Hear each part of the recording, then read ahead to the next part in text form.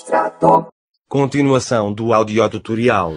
Ao contrário do que acontece com o 77%. Brave of Claudia, pessoal, nós aqui 79%. não recuperamos mana, não há cá opções 80%. para recuperar mana, não há opções para recuperar, 82%, digamos, a aptidão física. Nós 83%. começamos com determinados pontos e, à 85%. medida que vamos jogando, esses pontos vão 87%. se acabando. Quando se acabarem, nós deixamos de 88%. poder usar. Como, por exemplo, temos um mago, vamos 90%. usando o fogo, 91%. vamos- temos um curandeiro, vamos usando a magia de cura. 93%. O mana vai baixando. Quando chegar a zero, pessoal, 95%. já não podemos usar mais magia. É assim que 96%, funciona. Isto aqui temos que gerir tudo 98%, muito bem gerido. 98% 99%, vai acabar de baixar o complete. mapa. Ele disse download completo, instalando. Pessoal, eu não estou a fazer nada, ele está a fazer tudo sozinho. Ele disse download completo, agora está a dizer instalando. Vou esperar que ele instale. Hum, vamos a ver se demora muito ou não. Está a demorar um bocadinho, deve ter sido um pedaço. de installation complete, Ele disse, Main menu. boa. Ele disse download installation complete, que é a instalação completa, e depois voltou outra vez ao, ao mapa, digamos, ao menu principal. online multiplayer, Vamos então começar uma partida play a map campaign, em Player Map Campaign. Vou dar Enter. choose a map campaign, getting started maps by Ian Reed, Choose a Map Campaign. Escolha um- uma campanha de jogo, mapa de jogo. E então, age of war, getting started maps by Ian Reed, Getting Started Maps by Ian Reed. Foi este que eu já tinha baixado antes, pessoal, e aconselho a que vocês baixem primeiro este.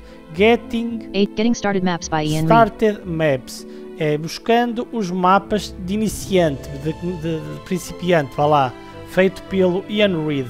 E agora tenho dois mapas aqui. Tenho esse age of warlords version 2, e tenho este, a guerras, as Guerras Me- Medievais versão 2, que foi o que eu acabei de baixar agora. getting started maps by Ian Mas não vou entrar nele. Vou entrar neste aqui, o Get, uh, getting started maps by Getting Ian Reed, Started uh, Maps. Vamos dar aqui Enter. getting started maps by Ian Reed, Baixem Read the map este, pack pessoal, user guide. este, estes são os primeiros. Cada um dos mapas traz um user guide, um manual. Porque, como eu falei, pessoal, cada, cada, cada pacote de mapas, digamos, que nós baixamos, tem os seus próprios personagens com as suas próprias teclas de jogo. Eu não vou abordar muito isso, pessoal. Vocês quiserem aqui entrar aqui, ele faz-me uma ligeira alusão aos mapas, a dizer que fez o mapa com o intuito de, de ajudar os principiantes a jogar. São mapas básicos. Existem mapas muito mais complexos, ah, com muito mais interesse, feitos por outros. É que ele vai dizendo isso, blá blá blá blá. E depois também lá está a dizer as teclas para este, para este mapa. Eu não uso muito teclas de atalho, pessoal. Uso mais as setas e Enter, que funciona perfeitamente, mas poderia jogar perfeitamente com teclas de atalho. E se vocês tiverem interesse em fazê-lo, entrem aqui e realmente vejam. Aqui abre um Firefox com, digamos, um HTML para vocês lerem o manual. Podem ir traduzindo com as ferramentas de tradução, ah, mas não vou fazer isso. simple fight, Então aqui temos os vários mapas. O primeiro chama-se Simple Fight, que é uma luta, digamos, eh, básica, que é para nós percebermos ah, as características de cada personagem nosso. ambushed, Unbushed, que é- significa encurralado, defending the river, que é outro mapa. Outro mapa que é o Defending River, que é defendendo o rio. escorting the princess, Depois defend, escorting the Outra princess, é Escorting the Princess, que significa escoltando, esco- eh, fazendo a escolta da princesa. defeating your dark side, Depois, Defeating Your Dark Side, que significa derrotando o teu lado escuro. read the map pack user guide, E depois são estes mapas que existem neste, hum, neste pacote de mapas. Vamos então jogar primeiro o Simple Fight. simple fight. Vou dar Enter. This is a simple map with a couple hills and boulders which gives you one of each type of unit so you can get used to gameplay and test out all the abilities. Battle map. Turn changed. The forces of good. Ian the good archer. 1-1. Então, o que é que ela disse? Disse-me que este é um mapa simples para nós percebermos os movimentos básicos do jogo, que tem algumas rochas no meio e coisas para nós nos habituarmos e, hum, e pronto. E depois disse que era a vez dos- das forças dos bons, nós somos sempre os bons e os adversários são sempre os evil, são sempre os maus. Peço desculpa. E então eh, disse começou então a batalha e também me disse que estava em cima do arqueiro. Se nós pressionarmos F1 pessoal, eu vou pressionar agora, Press Shift plus arrow keys to move the current unit. ele disse que é. Press Shift plus C to move your review cursor back to the last unit who performed an action. Deixa-me fazer Shift F1 para andar para trás. Press Shift plus arrow keys to move the current unit. Disse para pressionar Shift mais setas direcionais para movimentar o personagem atual. E eu, é assim pessoal, eu com F1 vou andando para a frente nas dicas das teclas de jogo. Com Shift F1 vou andando para trás nas dicas de teclas de jogo. Então a primeira dica é pressiona Shift mais setas direcionais para mover o personagem para essa posição. Vou dar F1 agora, Press Shift plus C to move your review cursor back to the last unit who performed an action. pressionar Shift mais Z para rever para voltar, digamos, o cursor para a pessoa para a última unidade que, movi que movimentei. Press Shift press Shift plus C to move your review cursor back to the last unit who performed an action. Uh, digamos para o último personagem que fez uma ação. Basicamente é isso. Outra vez F1, Press Shift plus X to move your review cursor back to the last unit who was the target of an action. pressionar Shift mais X para o para ir uh, para aqui Press Shift plus press Shift plus X to move your review cursor back to the last unit who was the target of an action. para a última unidade que foi, uh, digamos, vítima, ou seja, foi alvo de uma ação. Vou fazer F1. Press Shift plus P to cycle through all the units that are possible targets of this skill. Possible indicates they are within range and of the right team to have the skill cast on them. Only Senhores- usable after you've chosen a skill and now need to choose the target.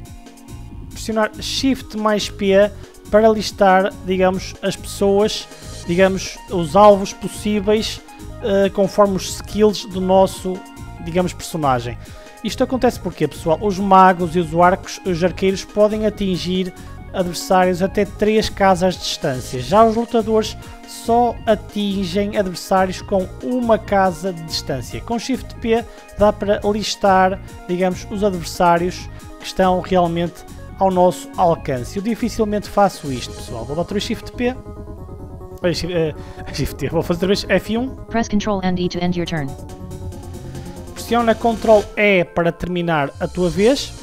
Nós sempre que fazemos as jogadas com os nossos jogadores todos, temos que passar a nossa vez.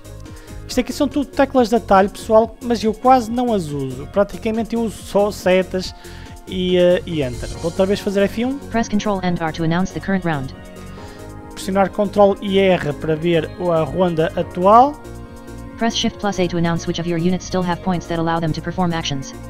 pressionar Shift mais A para listar as nossas unidades que ainda têm pontos para conseguir lutar, ou eh, digamos, quando acabar a mana, como por exemplo no Mago Bel Bel, eh, é Shift A.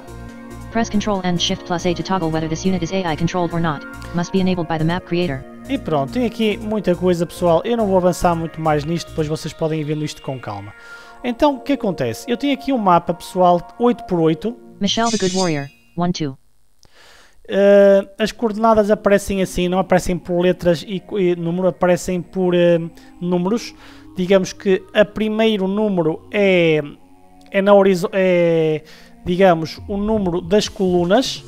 Eu uh, andando para baixo estou sempre na mesma coluna, ele vai dizendo, agora já disse 1, 2, Lucy the Good Fire Mage. 1 3. agora disse 1, 3, ou seja, eu estou na coluna da esquerda, seta abaixo, Anna the Good Healer. 1 4. Uh, seta abaixo, já estou em 4, Ursula the Good Witch. 1 5. um 5, 1 6. um 6, One seven. um 7, One eight. um 8 That is the edge of the map. e aqui diz aqui é a ponta do mapa, não dá para ir mais, é 8 por 8 pessoal, portanto mais do que isto não dá. Ou seja, para nos movermos pelas diferentes linhas é seta acima, seta abaixo e vai mudando o que pessoal? Vai mudando o último número que vai me dizer a linha. Para mudar as colunas é seta à esquerda, seta à direita, 2 8. já disse 2 8 que é 2 8, 3 8. 3 8 que é 3 8, 4 8. uh, 4 8 que é 4 8, ou seja, seta à esquerda, seta à direita, vai mexendo nas colunas. Nós depois podemos andar aqui com as 4 setas, 7. pessoal, 4 4. e 4 2. explorar That, that is, o mapa- map. o mapa todo. 3 1. 2 1. Como por exemplo, posso-vos mostrar que aqui Hill 2 2. em, uh, Boulder 3 2. em uh, 3 2, digamos que é 3 2, nós temos uh, um boulder, temos uma. Basicamente temos Hill 2 2. Boulder 3 2. um. Como é que se chama? Um boulder? Uma, ro- uma rocha vá lá que não nos deixa passar, ou seja, nós temos que a contornar se quisermos avançar. 4 2. e por aí fora. 5 1. That is Onde é the que edge estão of os, the map. o- os meus uh, personagens, os 5, estão posicionados na coluna esquerda, desde a linha 1 à linha 5. Tenho 5 personagens. O adversário só tem 3 aqui. 6 1. 7 1. The evil wild boar. 8 1. Eu andei tudo para a direita, ele está em- na última coluna de todas, na 8, e também está na posição 1, 2 e 3. Aqui 7 está 1. The evil wild boar. 8 o, 1. uh, o Eu acho que Boar aqui devia ser Bear, não sei se está mal traduzido, ou não sei o que é o Boar. Digamos que é o urso, uh, digamos, o urso selvagem, digamos, uh, do mal. The evil grey wolf. 8 2. Depois está aqui o lobo cinzento do mal também. Zog the evil goblin archer. 8 3. E eh, o, eh, o arqueiro Goblin do mal também está aqui.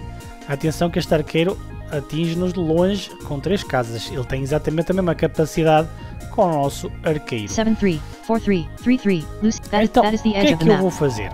Pessoal, vou fazer os meus primeiros movimentos.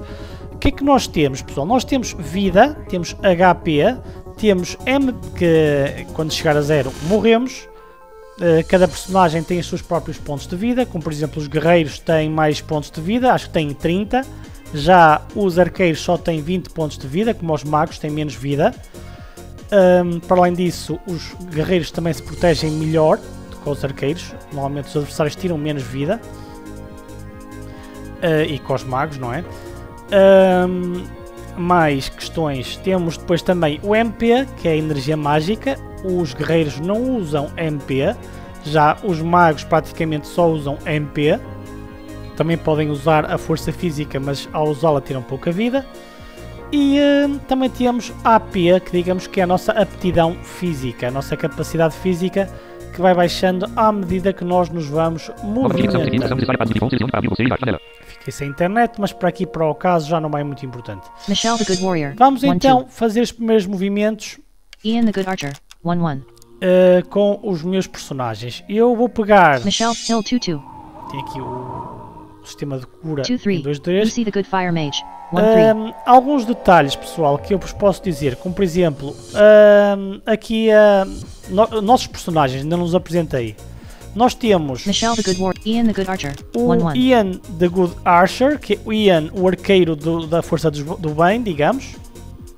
Michelle the good warrior. 1 2. O Michel, que é o guerreiro bom, digamos.